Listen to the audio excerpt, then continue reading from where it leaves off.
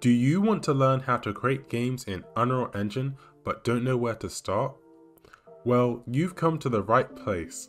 I'm Uisco and I use Unreal Engine to create games and teach people how to use it. On my channel, I make a variety of content about Unreal Engine, although the main type is creating tutorials which will teach you how to make games using the engine.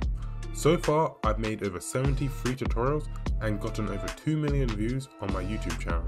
I will also update you with the latest things happening to the engine so you're always well informed, and sometimes I make game projects and devlogs about the process of creating games with it.